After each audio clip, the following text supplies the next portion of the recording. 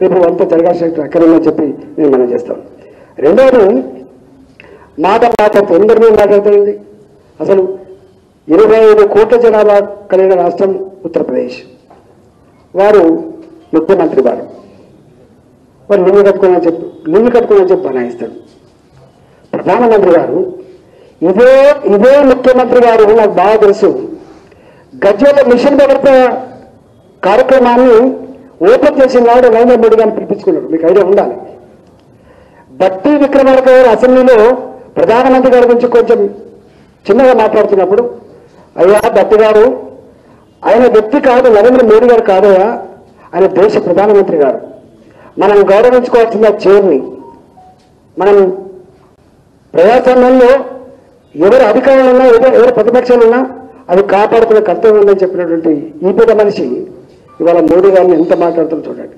మూడు సార్లు వచ్చిండు ఎంత వివక్ష ఉంటుందంటే తెలంగాణ ప్రజలారా నేను చెప్పేది అబద్ధమా లేదో ఒకసారి పరిశీలన చేసుకోండి. ప్రణబ్ ముఖర్జీ గారు కూడా రాష్ట్రపతిగా ఉండే. రెండు కాలమే సాష్టాంగ నమస్కారం చేసేది. రెండు కాలమే ఇట్లా పడుకొని మనం గుళ్ళల్లో కదా మొత్తం ఆ, పద్ధతి పడుతూ పబ్బతి ఆట చేసేది.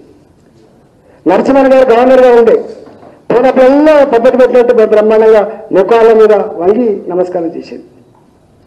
కానీ ఈ దేశంలో భారతీయ జనతా పార్టీ వాజ్పేయి గారి నాయకత్వంలో ఒక గొప్ప మహోన్నతమైనటువంటి మైనార్టీ వ్యక్తిని ఒక గొప్ప మహోన్నతమైన వ్యక్తితో మైనార్టీ వ్యక్తిని రాష్ట్రపతిగా చేసిన చరిత్ర అబ్దుల్ కలాం గారిని చేసుకున్న చరిత్ర భారతీయ జనతా పార్టీ ఇవాళ వాజ్పేయి గారి నాయకత్వంలో. రెండు వేల పద్నాలుగు తర్వాత రెండు వేల పద్నాలుగు తర్వాత మోడీ గారు అధికారికి వచ్చిన తర్వాత నిజమైన బాధలు అనుభవించేది ఈనాటికి కూడా. వివక్షని ఆకలిని పేదరికాన్ని దుఃఖాన్ని అనుభవించే జాతులు దళితులని గిరిజనులని చెప్పి భావించి. వాళ్ళకు అధికారం కావాలి. నాలాంటి ఛాయ్ బిడ్డ నాలాంటి ఆకలిని అనుభవించినటువంటి కుటుంబంలో పుట్టిన బిడ్డను మా అమ్మ ఇతరుల ఇళ్ళలో అంట్లుతోని ఆ డబ్బుతో సాగినటువంటి అమ్మ కాబట్టి.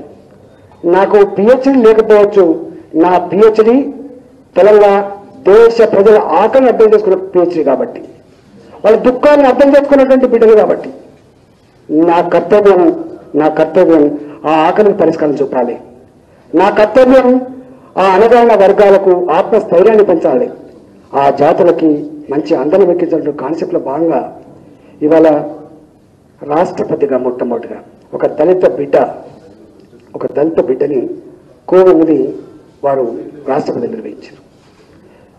డెబ్బై ఐదు సంవత్సరాల చరిత్రలో ఒక ఆదివాసీ బిడ్డ అందులో ఒక మహిళ అందులో ఒక మహిళ ఇవాళ రాష్ట్రపతి కాబోతోంది. ఒక మైనార్టీ ఒక దళిత బిడ్డ ఒక ఒక ఆదివాసీ బిడ్డను రాష్ట్రపతిగా చేసిన చరిత్ర నరేంద్ర మోడీ గారు దక్కింది. అంతేకాదు ఈ దేశంలో ఈ దేశంలో మన క్యాబినెట్ ఈ దేశాన్ని పరిపాలించేది నరేంద్ర మోడీ గారి నాయకత్వంలో ఉన్నటువంటి మంత్రివర్గం కాబట్టి ప్రభుత్వం కాబట్టి. డెబ్బై ఎనిమిది మంది ఉన్నారు. డెబ్బై ఎనిమిది మంది కేంద్రంలో మంత్రులు ఉంటే అందులో ఇరవై ఏడు మంది ఓబీసీకి సంబంధించిన మంత్రులు పన్నెండు మంది ఎస్సీఓకి సంబంధ మన దళిత బిడ్డలు. ఎనిమిది మంది ఎనిమిది మంది మంత్రులు.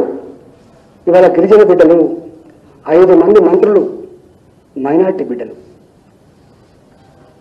కానీ నీ క్యాబినెట్లో నీ క్యాబినెట్లో పదిహేడు శాతం ఉన్నటువంటి దళిత బిడ్డలకి రెండు వేల పద్నాలుగులో మాదిగ నుంచి ఒకసారి మంత్రి అంటావు.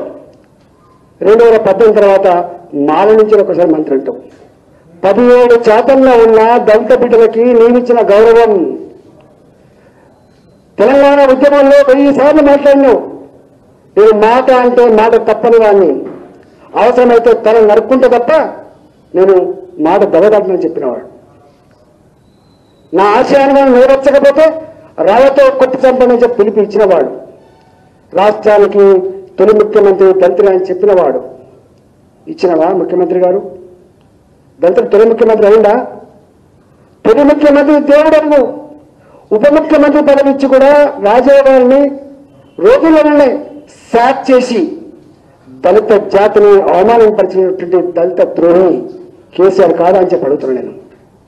వాస్తవం కాదా అని చెప్పి అడుగుతున్నాను